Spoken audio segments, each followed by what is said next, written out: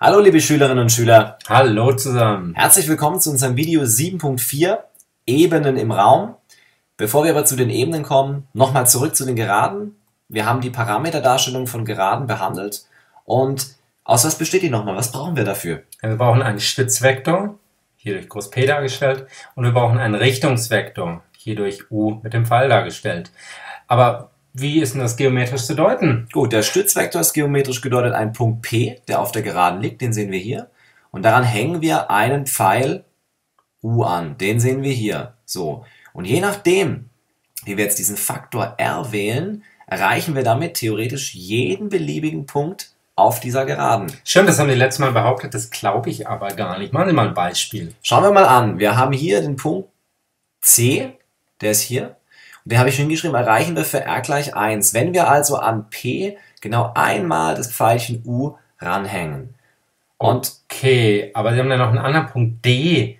Wie erreicht denn den? Was muss ich denn da für R einsetzen? kleiner Tipp, es ist ein ganzzahliger Wert. Die Lösung gibt es in 3, 2, 1.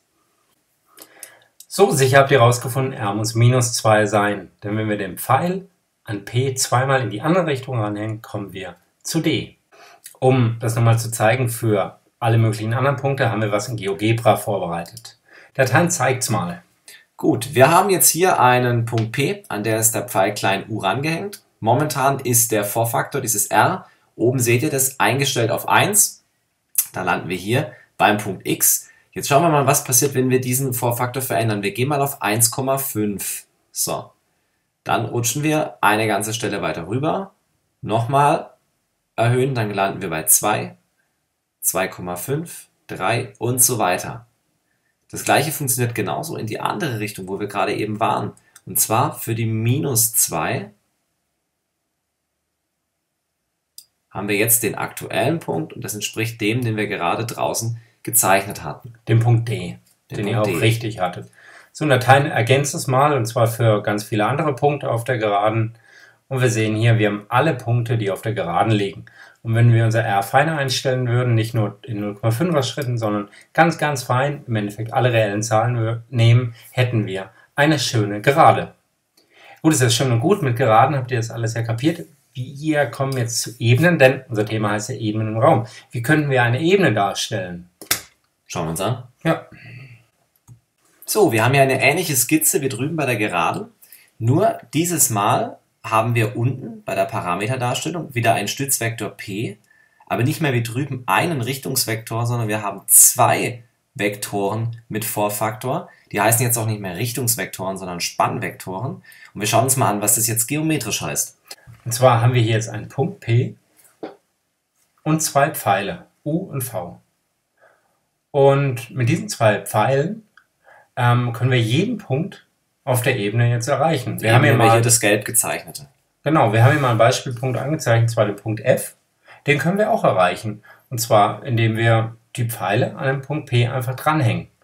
Können wir mal überlegen, wie oft wir die Pfeile brauchen, also wie oft wir U brauchen, wie oft wir V brauchen. Und dementsprechend muss dann die Vorfaktoren R und S richtig gewählt werden. Probiert's mal, die Lösung gibt es in 3, 2, 1. Also, euch war hoffentlich klar, R ist 2, S ist 1. Wir müssen also U zweimal an P ranhängen, dann landen wir hier und noch einmal V ranhängen und schon sind wir bei F. Wir haben das auch mal in GeoGebra vorbereitet, das zeigen wir ja gleich. So, in GeoGebra vorbereitet, wir haben Punkt P und die zwei Pfeile U und V und können oben die Vorfaktoren R, R gehört, ist der Vorfaktor zu dem Pfeil U und S ist der Vorfaktor zu dem Pfeil V und die können wir oben ähm, durch einen Schieberegler wählen. Momentan sind sie auf 1 gesetzt. Wenn wir erst auf 2 setzen, Teil macht das mal, genau, machen wir den Pfeil U doppelt so lang wenn wir auf 3 setzen, dem Pfeil U dreimal so lang, viermal so lang, fünfmal so lang, sechsmal so lang und kriegen eine ganze Reihe an Punkten, die im Endeffekt wieder eine Gerade bilden. Wenn wir jetzt irgendeinen Punkt von denen rausgreifen und ändern den anderen Vorfaktor, der den anderen Pfeil verändert, V, dann mach das mal. 2, 3,5, 3, 3,5, 4. gegen eine ganze Reihe anderer Punkte, die auf einer Gerade liegen. Herr Teil macht das jetzt noch für ganz viele andere Werte für R und S.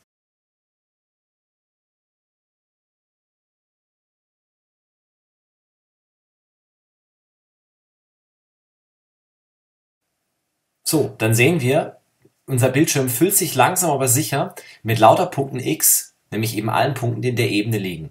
Momentan sind R und S bei uns so eingestellt, dass, wenn ihr oben hinschaut, wir uns nur in 0,5er Schritten bewegen. Wenn wir die kleiner wählen würden, würden wir es wirklich schaffen, den ganzen Bildschirm mit blauen Punkten festzu, mit blauen Punkten voll zu machen. Bedeutet also, hinter dieser Parameterdarstellung, die wir gerade gesehen haben, stecken also wirklich alle Punkte, die auf dieser Ebene liegen.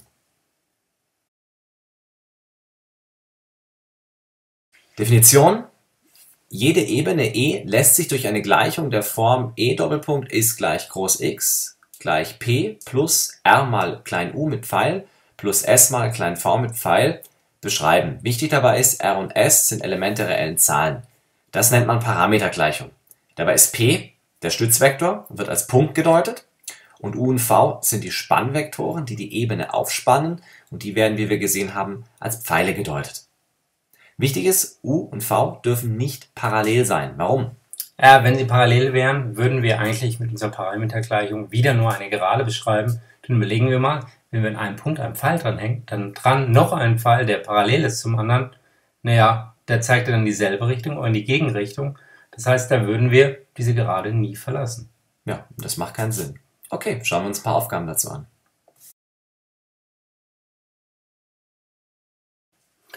Aufgabe 1. Gib, falls möglich, eine Parametergleichung der Ebene E an, die durch die Punkte a, b und c festgelegt ist. Hier ist bei a drei Punkte, bei b drei Punkte. Vielleicht wollt ihr es ja selber mal probieren. Kleiner Tipp, nehmt am besten a in beiden Fällen als Stützvektor. Überlegt euch, wie kann ich die beiden Spannvektoren angeben. Das geht so ähnlich, wie wir es bei der Gerade schon mal gemacht haben, wenn wir eine Gerade durch zwei Punkte gelegt haben. Wenn ihr euch nicht mal ganz sicher seid, blättert im Heft mal zurück an die Stelle, dann habt ihr vielleicht eine Idee und probiert es einfach mal aus. Wir zeigen euch die Lösung in 3, 2, 1. So, für eine Ebene, nochmal Wiederholung, was brauchen wir, Teil? Wir brauchen den Stützvektor.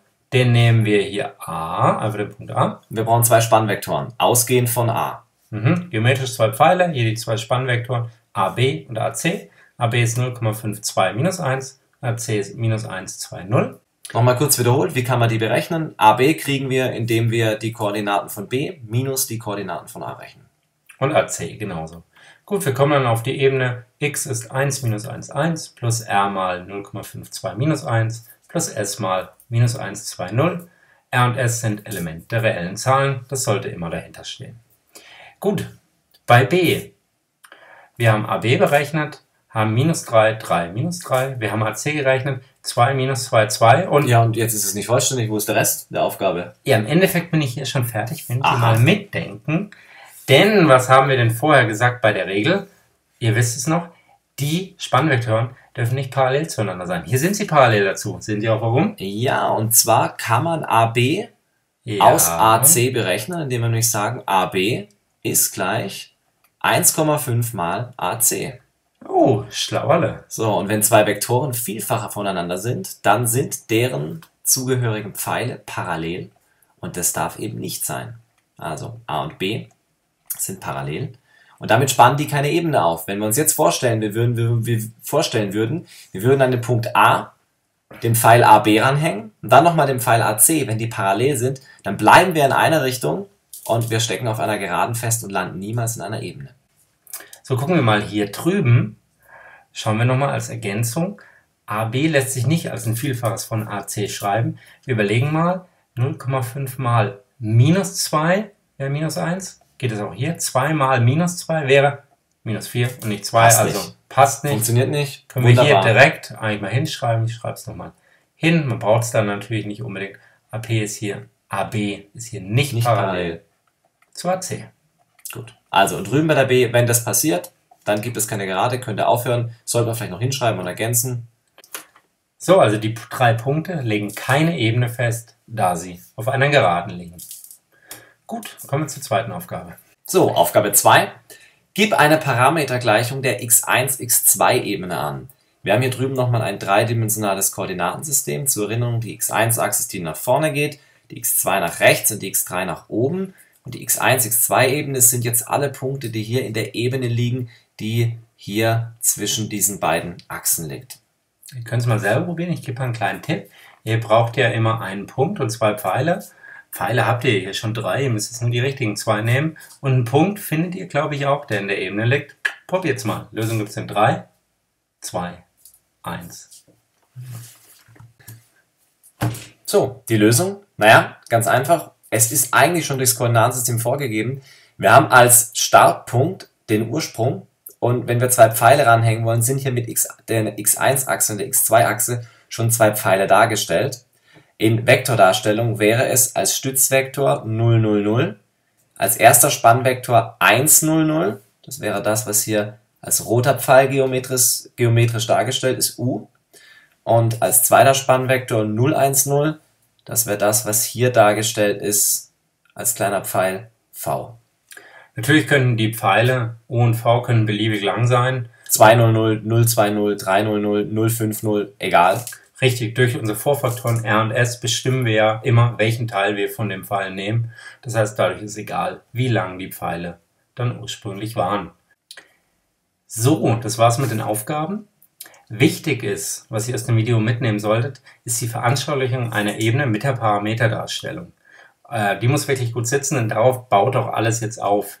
Wir haben dazu extra dieses GeoGebra-Applet, das wir im Video auch benutzt haben, auf die Homepage gestellt. Bitte benutzt es auch, spielt damit ein bisschen rum, denn dann kriegt ihr ein richtig gutes Verständnis für die Parameterdarstellung. Das wird für die kommenden Wochen ziemlich hilfreich sein. Das war's. Macht's gut. Bis dann. Ciao. Tschüss.